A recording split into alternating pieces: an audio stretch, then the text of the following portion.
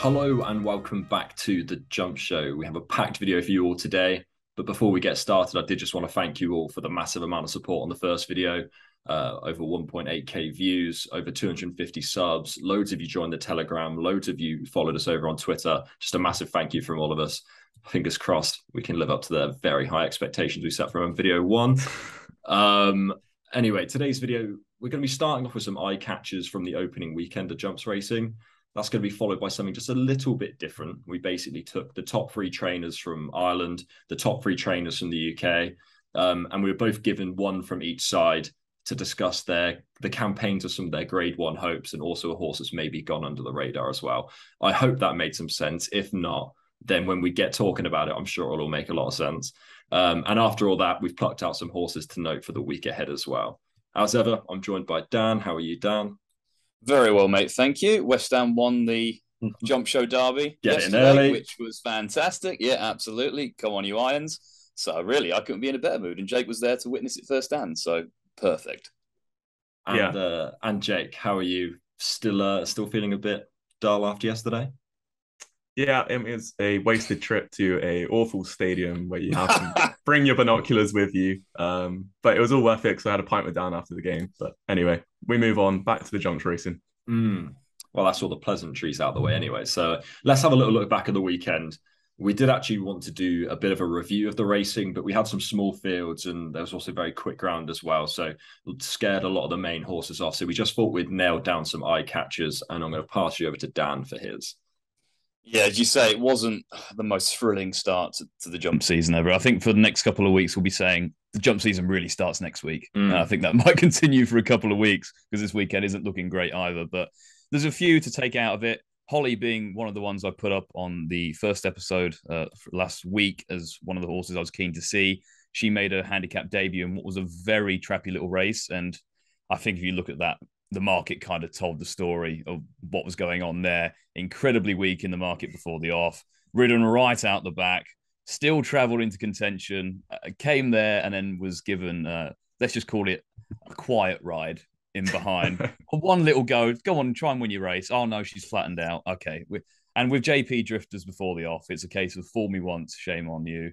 Fool me 2,000 times, shame on me and um, we kind of knew she wasn't going to be winning after that market drift. But st- i was very encouraged by that run. I think she finished behind two very solid horses there. They pulled nicely clear. I know it was only a five runner race, but a few commentators on course said she looked a bit big in her coat and she'll come on for it. And I think there's still a lot of improvement to come from her. So don't give her up on her yet. Proschema, I thought, shaped pretty well in the Silver Trophy. I think it was a similar case last year. They ended up going to Wetherby for the West Yorkshire Hurdle, which I think he was second in. So they might well take a similar route this time around.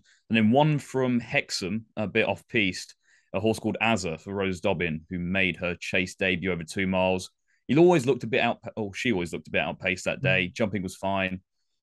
But there was some season two mile handicappers in, handicappers in there. Uh, and I think it was always going to be a bit of a tough task over two miles. Rose said herself, she, she's not a two miler. So it was kind of to be expected. And if you look at Rose Dobbin Chase debutants in handicaps, the strike rate's only 5%. But then if you look at their second start over fences, it improves to 14%. So up in trip, second time over fences, she showed enough aptitude for the discipline there. I think she's one to keep an eye out on in these low grade handicaps. Jake, I'll head over to you next for your eye catchers. Yeah, I completely agree with Dan on Holly. I don't think there's really anything more to add, um, but if you want just to watch for next time, um, and then the, the one horse I did want to touch on from the whole weekend really was presenting a queen. Uh, she won the she made all actually in the mares' novice hurdle on the Friday, um, and it was quite an impressive performance really because she had to really tough it out. Um, there was a freak rainstorm at the time, um, so it was absolutely pissing it down. Um, but she man- managed to go from the front, jump really well for her first start over hurdles, um, and she had about four of them line up to try and take her on, but you know, one at a time. She managed to hold them all off. She pulled out a bit more after the last. Um, and it's a decent race that's been won in the past by the likes of Nina Materia, Wild Romance, Silver Forever, Posh Trish, Colin's sister. They've all, all gone on to like listed success, grade two success. So I think it probably does point her as a, you know, at least a listed mare. Um, so yeah, she was the one that I took out of the meeting really. And I thought Lord Baddesley ran pretty well in the Silver Trophy. If he doesn't get hammered by the handicappers, I think he can still win a race at some point. Um, but Knappers Hill was obviously just too good on the day. I'm happy to row in with the lads on Holly. I was I was on that day after Dan's glowing little write up, um, and also the way he spoke about her as well in the podcast. Um, yeah, frustrating for a from a punting perspective. Um, all right, let's let's get down to the bulk of the video anyway. The top six trainers and their plans for their stable stars, something along those lines. We'll start with you, Jake. You were given Henry de Bromhead from Ireland, um, who yeah. is the big Grade One horse. Uh, well, I haven't strayed too far from the obvious, as, as not the point with this section. Um, so I've just gone with A Plus He's obviously the, the big Grade One hope for them this season. Um, won the Gold Cup last year, obviously, and I imagine this season it'll probably be the same. Of if the you know if their route isn't broken, then let's not try and fix it and let's do the same thing again. Uh, it's widely reported that he's going to start back out in the Betfair Chase uh, at Haydock in November. Um, I'm sure he'll then go on to the Savills, get a nice little break, and then go to the Gold Cup nice and fresh, like he did when winning it this year. Um, he looks to have as good a chance as ever. Uh, but I think his problem, obviously, this season is going to lie with the Willie Mullins horses. He's got a fair few that he could have a crack at him with. He's got Galopin Des Champs, who's actually amazingly now favourite for the Gold Cup over A Plus Tard, which is a bit strange. Um, obviously, you know, he's got the potential to be a much better horse, but remains to be seen, especially over that type of trip. Uh, you've got Allaho, who could yet step up in trip. We, you know, we don't know the exact plan with him. Um, it'd be very interesting if he did. Um, it'd be, you know, great for the game, but I'm not sure if it's going to happen. And then you've even got Monkfish, who could be coming back. I know Willo, you mentioned him on our podcast straight after Cheltenham Festival that he could be one for for next year. So uh, yeah, it's um, A Plus race to lose as long as he has a good preparation. Uh, it's just what can come out of the woodwork and take him on really. Should he be favourite for the Gold Cup? Do you think? Like, is that is the market just got this wrong in your opinion? Uh, I think he should be favourite just based upon he's already been there, done that, got the t-shirt.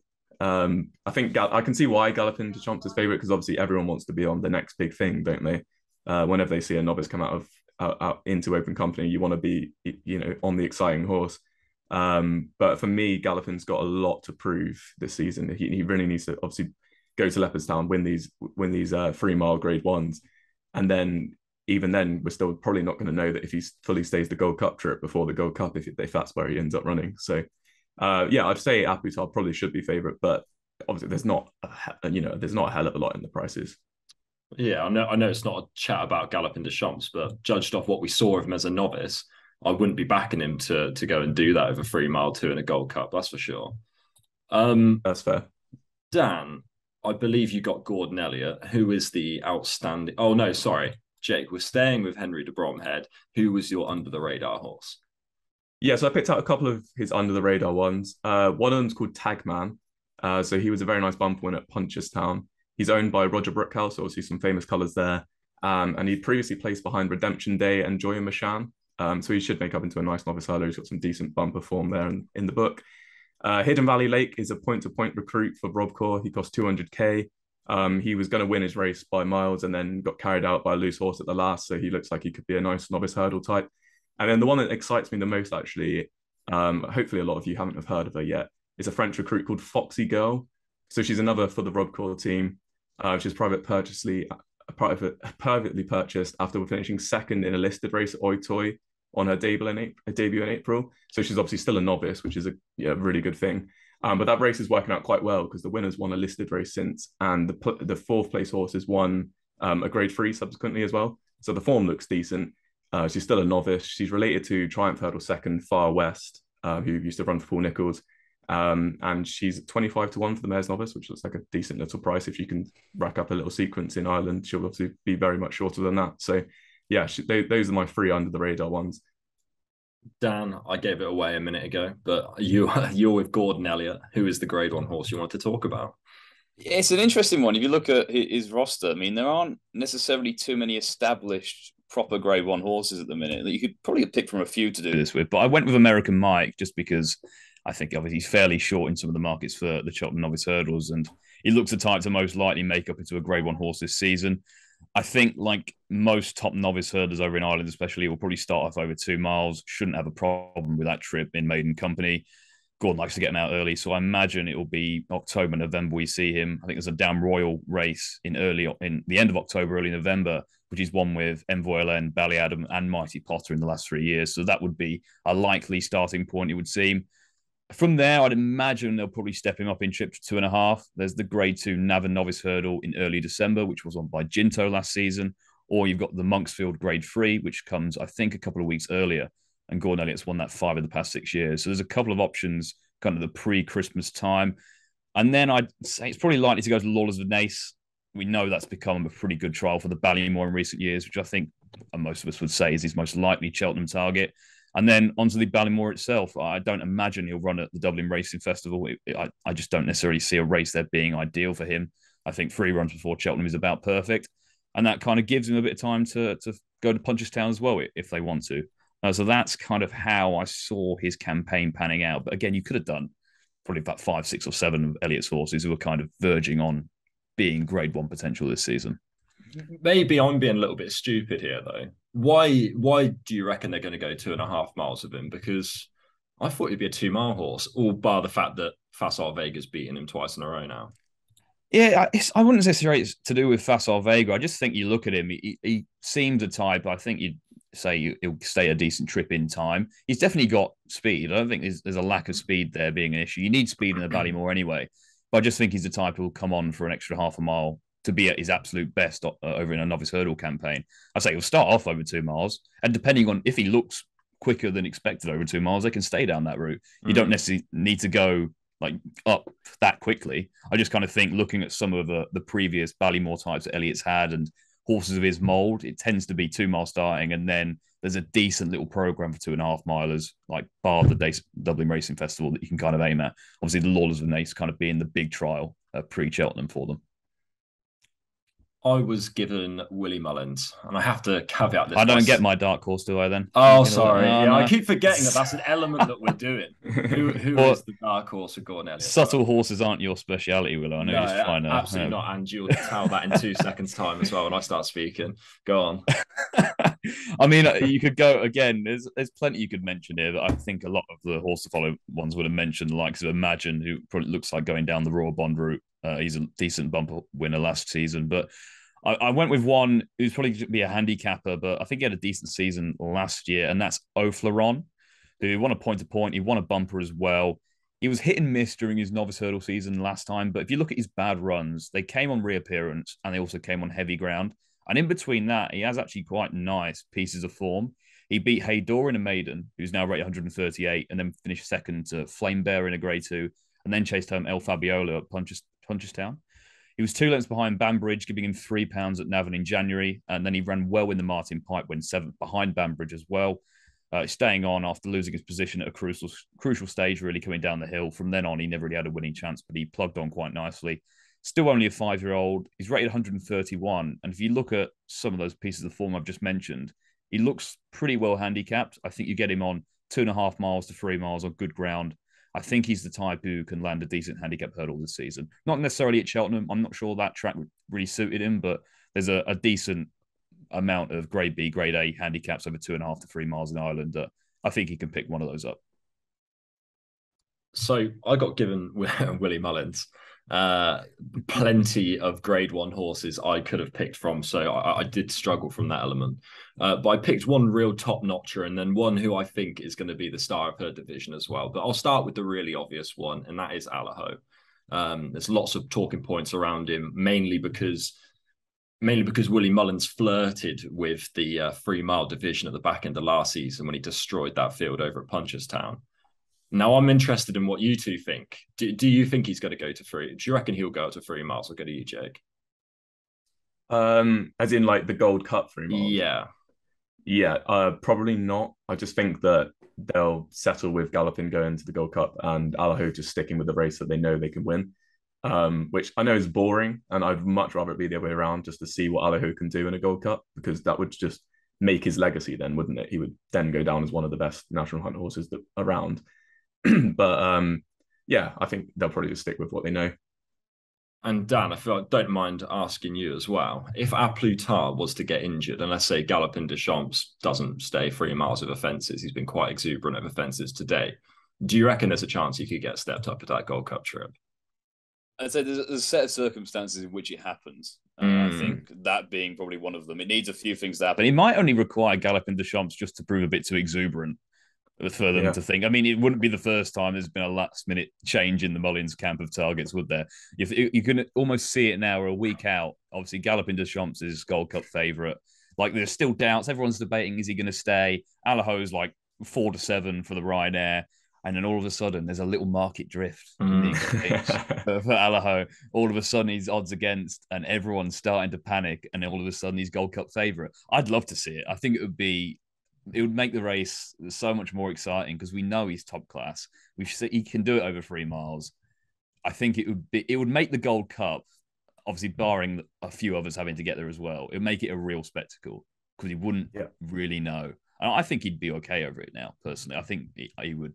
He has the kind of resolution. He has a bit more poise to him than he used to when he struggled to stay three miles. I, would love to see it, but I say I think is only a yeah. certain set of circumstances which is going to see it happen. The the joy of just exploring that is is fantastic, but then uh, it is. You yeah. crash back down to earth and realize that it's not going to happen. He's just going to win three races, four races in a row. Might go back to Punchestown. I suppose it's just. I, I actually think it's more A than Galopin Des Champs though. If uh, A wasn't in the division, obviously being the same ownership, then um, there's a chance they might push that boat out and go for the Gold Cup. And the other less obvious one that I landed on, um, was Allegorie De Vassy. It's a slightly odd one because the calendar doesn't really allow her to become a grade one winner, providing she keeps her own sex, that is. Um, but she won the Solerina hurdle, uh, previously won by some real stars. Brandy Love was back in second that day, and she subsequently won a grade, a grade one over over hurdles at the back end of the season. And I was just looking back at that race, and she just looked built for a fence, and she jumped the jumped her hurdles quite big. And I looked back at last year's Mares Chase division, and it was poor. I mean, Elimay was half the horse that that ran the year before. I felt she was definitely running below herself. Scarlet and Dove was up there. Pink Legend was up there. It was a hundred to one shot. Maid O'Malley. Like we're basically waiting for someone to take this division by the scruff of the neck. And if Allegorie De Vassy returns from her injury in good uh, in good form and jumps a fence like I believe she will, then I think she's going to take some stopping over fences. That is for sure. What price is she for the uh, five, chase? five to one early doors. only five. I know it's a bit of a tough yeah. one, but it's such a short rough. price as well. Considering she'll probably be end up having to carry a penalty uh, in the race as well, because if if you win a grade two, you have to carry the penalty, which means you may be having to give weight away like Scarlet and Dove did this year. Mm. Um, so that's obviously something to bear in mind if you're going to take the early price. But obviously, above all, you need her to come back from her injury and you know show the form. But she definitely looks like a chaser, that's for sure. The route that I imagine they'll take, anyways, is there's a grade two mares novice at Cork. The race was born by both Elimay and Concertista. So you imagine De Vassy will be targeted that first time out and be a very short price. Uh, Concertista went on to win another grade two under a penalty after that as well. But yeah, I, I do think De Vassy could be just a class above everyone else in the division. Um, my under the radar one is not so under the radar. Jakey, you're gonna you're gonna hate me, big man. I'm sorry. Um, I, la- I landed on this horse, and then about three or four days ago, Ruby Walsh stuck him up as a horse to follow for the season. So the limelight has been pushed on him. He's no longer under the radar, uh, and that's Gaelic Warrior. Lots of loving for the for Rich Richie at the moment. Um, you can basically copy and paste what I said about him in March last year, if you wanted to. I, I, think people might just turn their noses up at him because he was beaten at short odds, jumped to his left. But that was his first time out after 280 days off, his first time in a big field handicap. I think there's so many positives to take from that run. And although Facile Vega's likely going to take the plaudits, given what he could do this season, I think Gaelic Warrior could be quite a weapon himself. And I think it's a really, really smart move from Willie Mullins to basically say, he's got a good he got some good experience from that handicap. If we run him again and he goes and wins, he'll lose his novice status. This way, he can remain a novice going into the new season, and uh, and I think he could be a good one to keep on side as well. Jake, we're going to head back to you for your UK trainer, which I believe is Paul Nicholls. Yeah. So for Paul Nicholls, I've gone for Bravemansgame. Um, so he had obviously a really good novice campaign last season, winning four times, including the Kauto Star. Um, but this year, it's literally his whole campaign is built around the King George. That's the main target, the only target, and anything else that he picks up around that is just a bonus, really. It's just a gigantic disappointment, though, isn't he? Like, well, I mean, look, so he's going to start off, I mean, for the Charlie Hall, the Future Stars Intermediate um, chase at Sandown or the 1965 chase at Ascot. So obviously none of those are amazing targets. I'd imagine he'll probably skip the Charlie Hall because it looks like uh, Hoy Senor and Shan Blue are both going to turn up there. So I don't know if you'd really want to be taking them both on first time out. He's got secret so investor I, for that race as well. I think who's going to go there. There you go. So I'd imagine it'd be the Future Stars, just an easy race, three miles at Sandown. Hopefully it's not bottomless. He'll be fine. Probably be very short odds to win that. And then yeah, he'll he'll be prepped for the King George to the minute. Um, Paul Nicholls does it year on year on year, doesn't he? With with these types of horses. Obviously won the Kauto Star up the track last year, so we know he handles Kempton really well.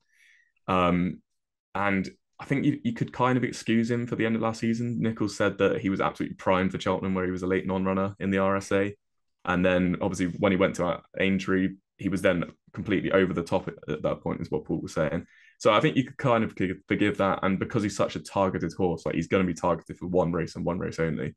I think you can you you can get behind him for that King George at the minute, obviously, the, the, if you look at the anti-post market, it's still full of the Irish horses. We know the Irish horses will always drop out and you know go to Leopardstown or go elsewhere. We never get the full list of Irish horses that we we we think at this stage. Um, so it could turn into a very weak race, and it could be very winnable for him. And yeah, as I said, it's going to be his Gold Cup. So um, I think yeah, he's got a very good chance in it. I think something I want to ask you two though is, do you think if he did win it, that he should be then have to go for a Gold Cup, or should he? Is that not something that he needs to go for prove himself at Cheltenham? I oh. go on, Dan. On, you should no, okay, mate. I'll, I'll give it a go. It's um, I think the King George win is almost obliged to sometimes go for the Gold Cup. I think we see it. In, I think he kind of has to. Really, we don't necessarily know yet his aptitude for Cheltenham. I know he was beaten in the in the Ballymore, but it's a bit too soon to write him off. He's still a pretty young horse. I think if he's impressive in the King George, you can almost kind of then pull up stumps until the Gold Cup and have a go fresh and and make that yeah. almost secondary target. I think you have to give it a go, right? You can't. I, Nicholls isn't really afraid to unless it, he absolutely knows it doesn't suit certain horses. Like he started to know with Clan, it didn't didn't yeah. suit him. Mm. But it took he, him enough tries to figure out, didn't he? Like yeah, fifth on the fifth time he blew out, he knew that was enough.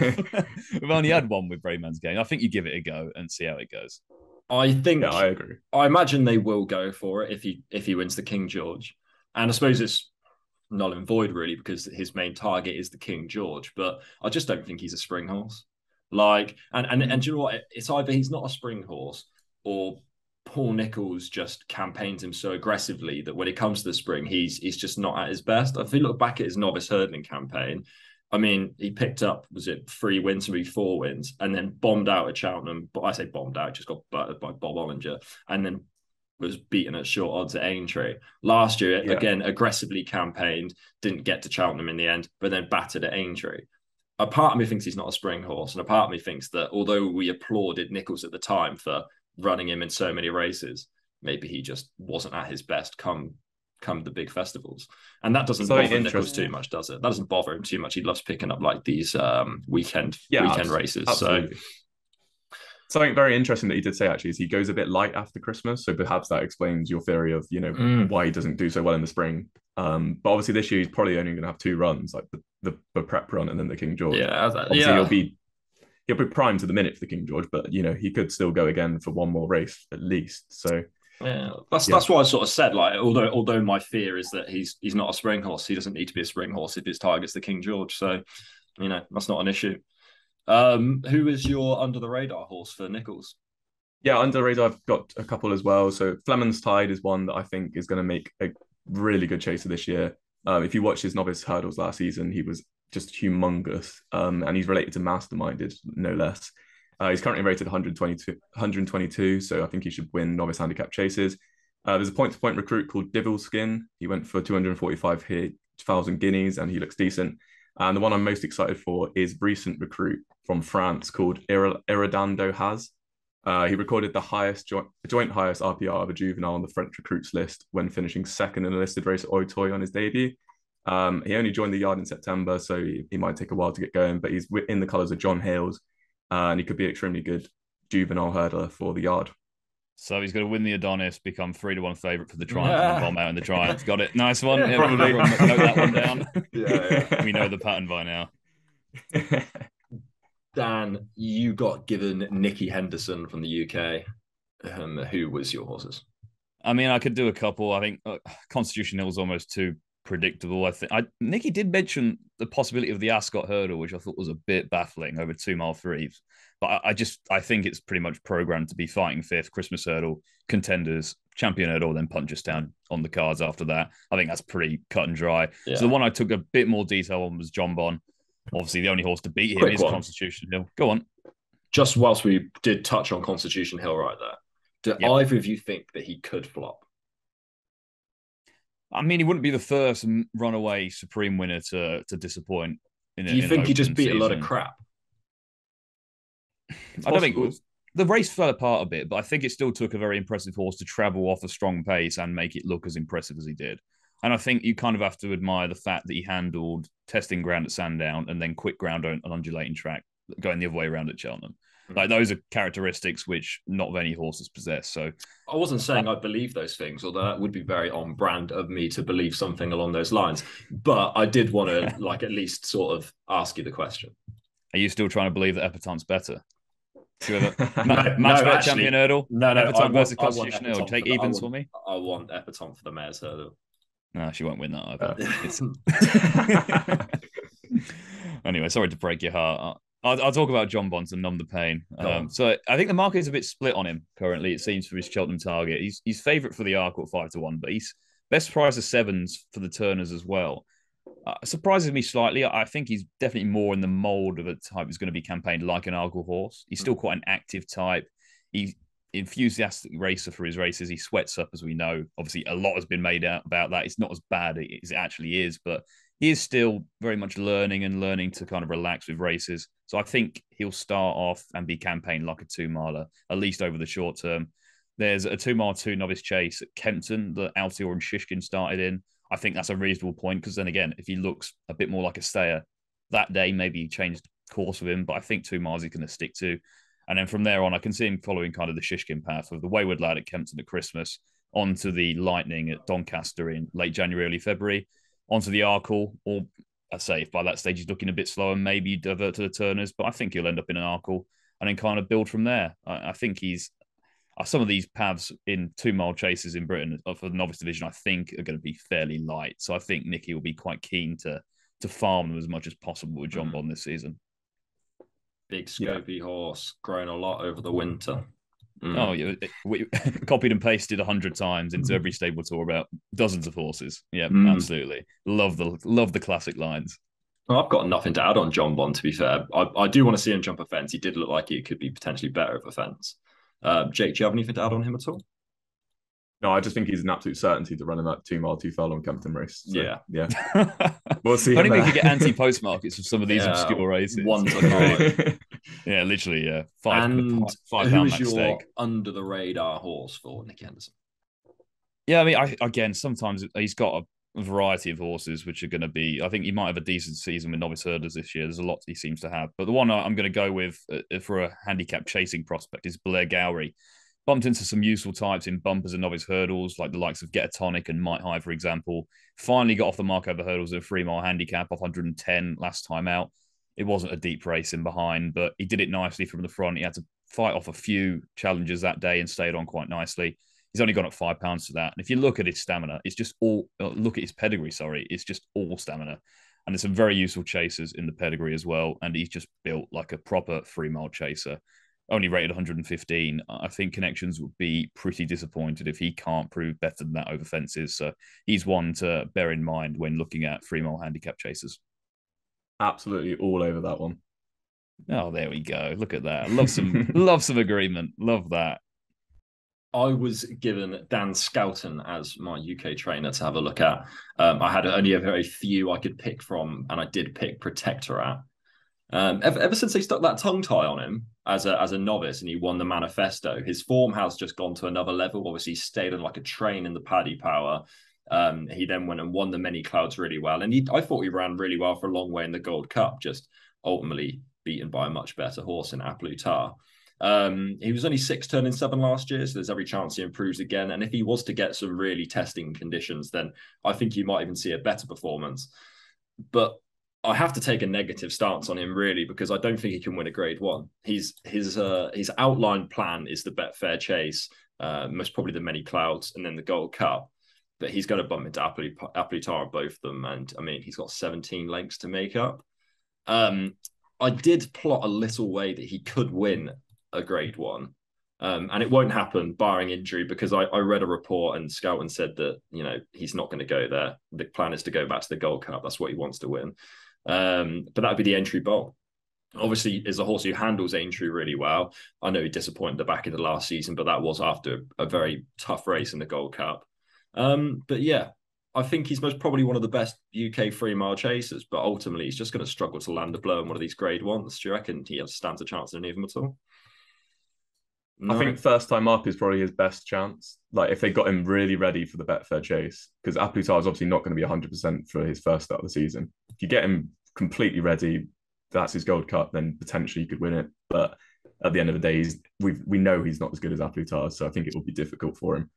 Um, the only other race I've got down for him is that Dan mentioned the Cotswold Chase could be an option for him, but obviously that's just grade mm. two as well. So yeah, yeah, Interesting you say that A Plus Tard, going back to A Plus Tard here, that you don't think he'll be ready first time out or might not be ready first time out. I, thought... I just don't think it'd be 100%. That's all. Like, mm. it'll probably be like 80%. You know, it, it, it, you're building up horses at that stage of the season, aren't you? You don't want them to peak that day if you've got the Gold Cup as your main target for the year. Hmm. Very you go back to that race last year. A lot of the pre-race talk was basically everyone trying to take him on because he was short, and they knew he wasn't going to be geared up for that. Like I, I think, yeah, everyone was taking every other horse in that race, and then the race kind of fell apart. You had a couple of non-runners in there, and it kind of like next destination. I think was one. I yeah, think yeah. it was one of the ones, and he a non-runner again for the seventeenth time in his career. So I can see like he's, he's not going to be a one, but he is also an absolute top notcher who might not need to be. And my under the radar horse is not going to be doing anything of note. He's going to be definitely plotting around some random old class threes and class fours in the middle of the week. But that's once again me. I'm not understanding the assignment clearly. Um, I landed on paddle your own canoe, the old former Colin Tizzard horse. It reached, it reached a mark of 42 over hurdles and then ran to a mark of 104 over fences later on. When he joined Skelton, he was off a mark of 135 after about a year off and he probably finished third first time out. And then he was sent off 15 to 2 for like a grade three handicap chase. And after two fences, his saddle slipped. From that point onwards, they they really messed around with him. They tried holding him and holding him up. They stepped him up to four mile two furlongs. They stuck some seven pound claimer on him that I'd never heard of before, and they got him down to a mark of one two five. So I reckon if they stick a pair of cheap pieces on and they jock Harry Scowen up, I reckon he could. I reckon he could win some races that's what I'm on. Are you thinking it's second coming of Captain Chaos? Like... Yes, I absolutely am. what a legend.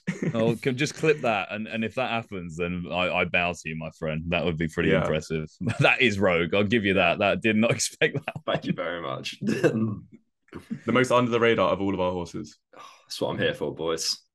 So, if you guys wanted to let us know who your horses that you really want to follow this season, please drop them down in the comment section below. It's time to move on, though, boys. We're going to be looking at the upcoming week. Dan, I'm going to head to you first. Who are some horses that viewers should be keeping an eye out for this coming week? Yes, for a bit of context, we are recording this on Monday evening, so we don't mm. have two day decks for a lot of the cards. So I'm going to start a couple on Thursday and Friday, which are currently de- uh, declared, but obviously it, they might not actually run. Uh, so on Thursday at Carlisle, there's Castle Robin in the three mile handicap chase. He won three times last season in his novice campaign. He's only gone up six pounds for three wins, which is pretty impressive for a horse to do. But I think they really rate this horse, and I think they'll be looking at some of the top handicaps for him later in the season. You look at Charlie Longsdon's strike rate in September, October, it's 20%. Then you look at November to April, it goes down to 12%. So this is the kind of time to get on Charlie Longsdon's runners Castle Robin goes well fresh too, and he's won at Carlisle. So I think if he runs, he'll take a lot of beating. And then we move on to Uttoxeter on Friday. The opening novice hurdle has a lot of good entries currently. You've got the likes of Leave of Absence for Chris Gordon, uh, who was third in the Aintree bumper. Prairie Wolf is there as well for Sue Smith. Springwell Bay is entered, but he's also entered, I think, every novice hurdle there is for the next four or five days. So he could run anywhere, but he's an exciting horse to keep an eye on and that race in general has got quite a lot of entries. So keep an eye on that one. It might be informative. And then you have the novice handicap chase over two mile six, which tends to be quite an informative race. Two years ago, in particular, it was a, vintage renewal. You get a lot of decent types come out of that. There's a horse it entered currently called Autonomous Cloud, who featured in my winless ones to watch column for Racing TV. Now, Shameless this would be an absolutely always. You never miss a trick. I've done this enough times now. This would be an ambitious first target for him. He's only rated 116, so he'd be at the bottom of the weights. But he's a staying chaser to note for the future if he runs there or if he runs elsewhere. And then in the handicap hurdle, if he runs, JBY is a horse I think has a race in him off his mark. He goes well fresh, showed some renewed form towards the end of last season. I think a mark 130, there is a race in him on a over three miles on a track that doesn't take as much getting as some of the other tracks he's been running on. We'll do our best to notify you if these guys get declared on Twitter, I reckon. So that's a good little plug to go check out our Twitter page. Uh, Jake, who are the horses that you uh, recommend for this week or have looked at this week? Yeah, so I'm actually off to uh, Newton Abbot on Saturday for their intermediate chase card. So they've got a pretty decent card on there. Uh, I haven't really got any like selections or anything yet. Obviously, they'll all be up on my Twitter pages or in the Telegram. Uh, so make sure you go check those out. Um, but the ones that I'm looking at, so in the novice hurdle, there's some really bright prospects. I won't go through all of them, but there's some really nice types that entered up. But as Dan said, they pretty much are entered up across the week, and I'm assuming that most of them are just going to go wherever the rain turns up. Um, there's a junior national hunt hurdle on Saturday, which features him Malaya. So he's a full brother to the Malaya who used to run for Nicholls in the Delahaye colours. Um, he looks like he could be a smart type for those three-year-old hurdle races. Obviously, I'm sure he'll be no price at all, but looks like an interesting horse. Uh, the intermediate chase, as we mentioned, uh, Elixir de Nutz is in that. Kiltidi Briggs is in that. Pic D'Orhy is in that as well. He looks like he's going to run, which is quite interesting. Um, but probably the most interesting horse of all is Thyme Hill. Looks like he's set to make his chase debut in the race. Um, and I just wanted to touch on him quickly because Dan brought something to my attention yesterday that he's actually got a price of eight to one for the Turners uh, at the Cheltenham Festival, which is just absolutely bonkers. It's probably the worst price I think I've ever seen. Um, he'll come, he's, he's going to be about nine when it gets to the festival, right? And no Turners winner has ever been older than eight for a start. And the more baffling thing about the whole situation is he's more likely to run in the Brown Advisory over three miles, considering he's a Stayers' hurdle horse, and he's twenty to one for that. Um, and but even then, like there's been no nine-year-old winner of the RSA since 1992. So I mean, he's up against it either way. But Mm. that just seems like a very rogue bit of pricing uh, for the for the Brown- uh, for for the uh, for the Turners. Um, other than that, there's a couple of expensive horses to look out for. So in the bumper at Newton Abbot, uh, private purchase actually, but called Captain Teague uh, for Paul Nicholls in the Delahaye colours. Uh, he would have been expensive considering he smashed a horse who went for 100k at the sales um, by eight lengths in his point to point. Um, I think he's going to be having one run in a bumper and then going novice hurdling. So maybe don't get carried away with it, backing him in the champion bumper or anything like that if he bolts up. But uh, he looks like a smart type. And then in the Stratford two mile six furlong maiden, maiden hurdle, Hermes Allen is also entered, and he costs 350k, for, and he runs in the colours of Ged Mason and uh, Sir Alex Ferguson. So yeah, there are a couple of other, other names to look out for over the next couple of days. Yeah, that novice handicap at Newton Abbot as well has got some decent entries. Warlord, uh, Warlord won it last year, I think, and Yeah. JPR ones in entered. I think off one two nine. I think they'd be disappointed if he can't win a race over fences off that. You've got Boot Hills entered. Obviously, he was entered uh, early in the week and didn't run. So probably hoping for some rain for him. There's a few other decent ones in that. It's only a small field, but there's some decent types in that one as well. There's a, horse. I don't know why I went down this rabbit hole, but I looked at the bumper as well, and it was obviously as you mentioned. There's a few like high profile individuals, but the the one I, I was drawn to for no, I'm really struggling why I've gone down this route. But there's a horse called Is Eight in there who's moved to Neil King after finishing second in the bumper for Brian Barr. Now. Brian Barr wouldn't be known for his bumper runners. In fact, so when Eight finished second on his rules debut for him, it was the on- only his second ever bumper horse, a bumper debutant to place, and the other one came in 2013. And he was only narrowly beaten that day, so it was a hell of a run. He's been bought for 40,000 guineas since. He's actually quite well related. His dam's a half sister to surname. I say he's moved to Neil King now, who won that bumper with one for the Road Tom in 2020. Obviously, has a much better record with bumper horses as well. So he's a bit of a rogue profile, but if there are some high profile horses that turn up in that race, he might just sneak under the radar at a decent price. So that might be that's probably one of my more obscure shouts and might not even run, but I, I don't I just kind of got drawn into that one. And another one for Saturday as well, which I think is an interesting race, is a two mile, two and a half mile handicap hurdle at Market Rasen. First thing that caught my eye was the fact that Aramax, the old Fred Winter winner, is now with Ben Haslam, as a lot of the uh, the JP horses go, who tend to lose their way. Mm. To be fair play to Ben, he does a fantastic job, but you can imagine it's going to be a few below par efforts, and then all of a sudden he's 15 to 8 favourite for a handicap chase of 120. And, I'll uh, wait to see him at Cartmel next summer. That'll be fun. It's some things are inevitable, and that's just one of them, unfortunately. Um, but there's a, a, few interesting other horses in that race as well. Thunder Rock is one. I thought I think he'll probably end up going chasing. So whether this is, would be a prep run for that, I'm not sure. Probably if he does run in this race, the one that would interest me the most is Harbour Lake, who I think looks very well handicapped off 130. I think the plan is to stick over hurdles with him this season. His form from last season has worked out pretty well. I'd say there's no be no surprise at all to see him pick up a race or two over hurdles over two and a half miles this season.